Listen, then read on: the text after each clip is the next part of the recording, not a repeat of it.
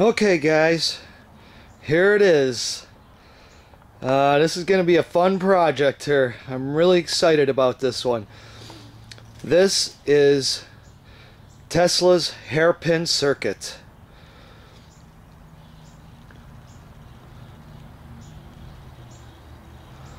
Just built it. I'm ready to test it out.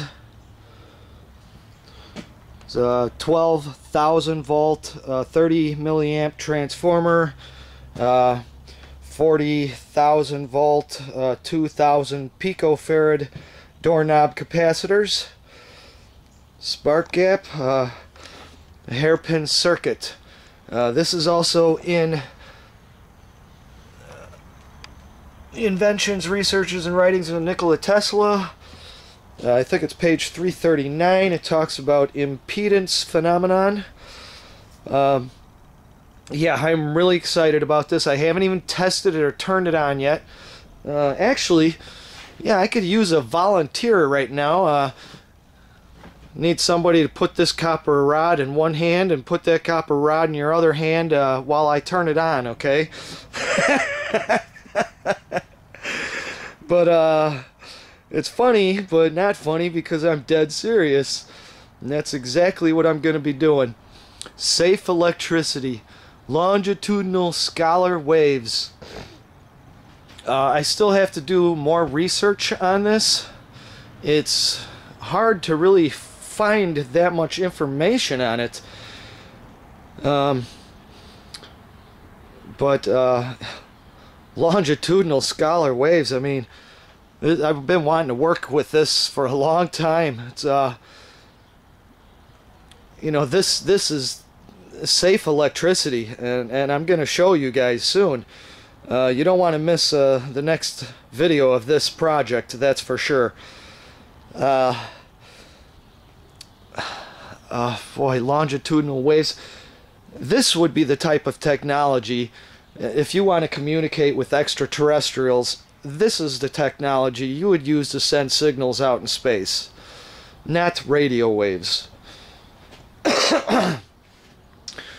radio waves can be uh, uh, blocked by many things, like a Faraday cage, you know, screens. Uh, longitudinal waves, they go through everything. You could send a signal perfectly right across uh, through the Earth to any point on the planet with perfect uh, without any data loss. It's you know perfect uh, wave. Uh, actually, it's it's that's what's interesting. It's not AC. It's not DC. It's not the skin effect. It's it's uh it's not a Hertzian wave.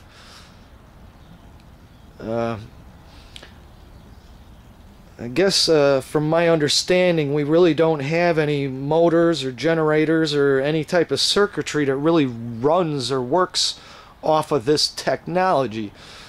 Well, I'm sure the, the government probably has it in case they have an EMP or something happens, you know, and they have to go underground. This would be the way to still get communication out, even if our atmosphere was disrupted by some kind of EMP. I bet this would still work. Um, so yeah, I'm gonna be. That's another exciting thing, boy. If you can get a motor or something to run off this. Uh, so, all right, guys, I'm gonna stop yakking here, and uh, stay tuned. Watch next segment on this, and uh, yeah, I'll videotape it. When I go to touch it here. I'm gonna be oh man all right. But uh yeah okay stay tuned. This is gonna be really good.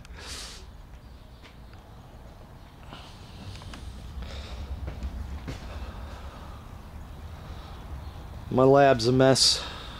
Well not too bad but. So alright guys we'll see you soon